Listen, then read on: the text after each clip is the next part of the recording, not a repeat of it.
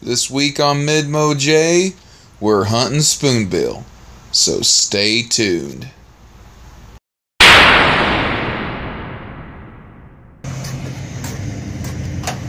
March 15th brings with it the start of snagging season. For my family, it is a time to head to Lake the Ozarks and do what we can to help control the population of the paddlefish. It starts by getting the boat unloaded and getting to the first hole. What we're doing here is we're trolling down this deep water, about 30 foot of water. You can see the sonar is echoing off of the spoonbill. They're sitting about 25 feet right now in this hole. Right now everybody's trying to get rigged up. Spoonbill have a don't have scales, so typically they show up as blips on a sonar or a uh, depth finder, as you can see right there. And usually you can tell it's them because they're stacked on top of each other.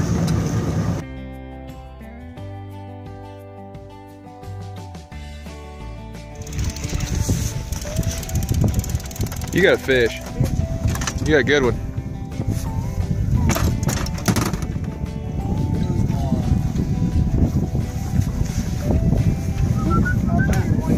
He's good. See that or pipe? One or two. Yeah. If it is a fish, he's probably going to need it.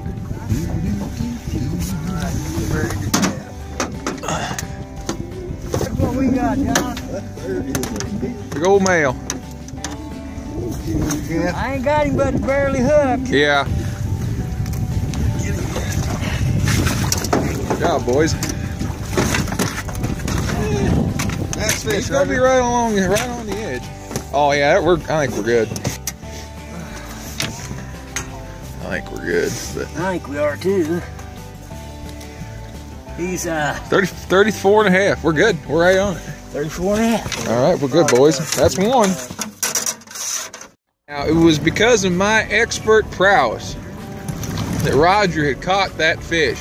My guidance was what led him to that fish. Isn't that right, Roger? No? Well, you see, I was fishing along and I seen him break water up yonder. Well, Then I broke wind. then I broke wind and that was all. I'm telling you, boys. It done wore me out. I'm, I'm just here to tell you. So what Dad's doing here is he is letting the, the sinker fall to the bottom until he can feel it, and he's jerking back against it. And the great thing about snagging is every time you jerk, it could be a fish. The bad thing about it is most times it's not.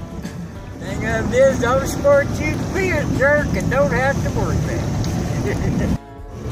So there's two different styles whenever you're doing this. You can jerk every now and then, which is what we typically do. What Dad and Real shallow fish. Roger are doing here. And you can kind of do what I'm doing at the moment, being a little lazy and just kind of letting it go along. And if I feel something, then I jerk. So as you can see, snagging for the most part doesn't require a lot of skill. You're basically just going down the water, keeping it on the bottom. We're using 20 ounce sinkers. You're keeping it on the bottom, and as we go, you're just jerking it, letting it back down, letting it back down until you feel it bump. Then you're jerking it again, and that's basically all we're doing.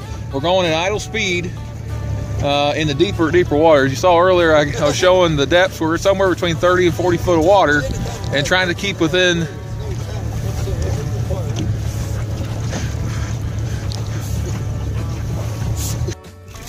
You sure you got a fish? Yeah, you got a fish.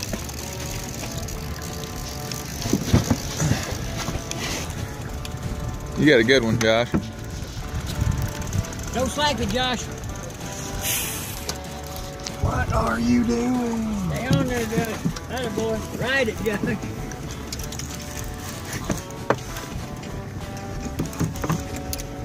Oh yeah. He's only got one hook, so be careful.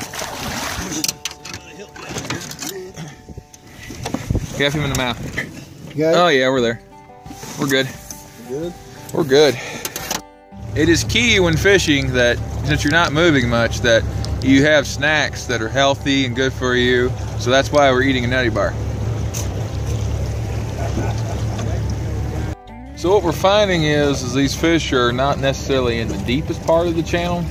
or along the edge of the channel, which you gotta kind of you kind of kind of meander back and forth and watch the scope and see what you see on the depth finder. So the one that was caught just now, that one we caught right about 38 foot of water. So that's where we're trying to stay right now. So hopefully we catch some more. It might be running at you, so get ready. You never know. Nope, stick. Stick.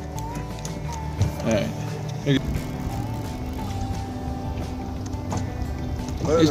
Big old log. Good. Spent the rest of the afternoon trolling the 35 to 45 foot deep holes, but were unsuccessful. We went back to the ramp, loaded up the boat, took a few parting pictures, and started putting our gear away and getting ready for the long drive home. But we had been successful with two keeper spoonbill on the opening weekend of snagging season.